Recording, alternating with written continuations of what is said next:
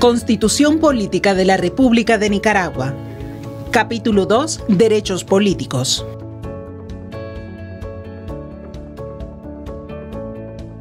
Artículo 51.